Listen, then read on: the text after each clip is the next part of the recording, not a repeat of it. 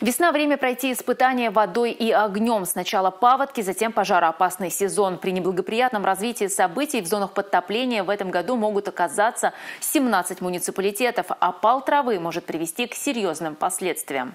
В 2021 году в Чувашии зарегистрировано 87 пожаров, которые произошли в основном из-за бесконтрольного сжигания мусора. И 134 случая возгорания из-за пала сухой травы на общей площади более 914 гектаров.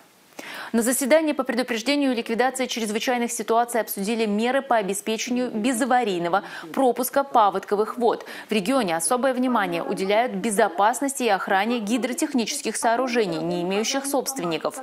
Также участники заседания отметили, что за сжигание сухой травы на должностных лиц могут наложить штраф от 6 до 15 тысяч рублей, на предпринимателей от 20 до 30 тысяч, юридических лиц от 150 до 200 тысяч рублей.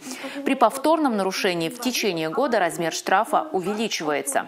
И мы в прошлом году с вами были свидетелями, только поговорили о том, что сейчас будут начинаться как бы пожары от палой травы. Через неделю у нас пошли пожары.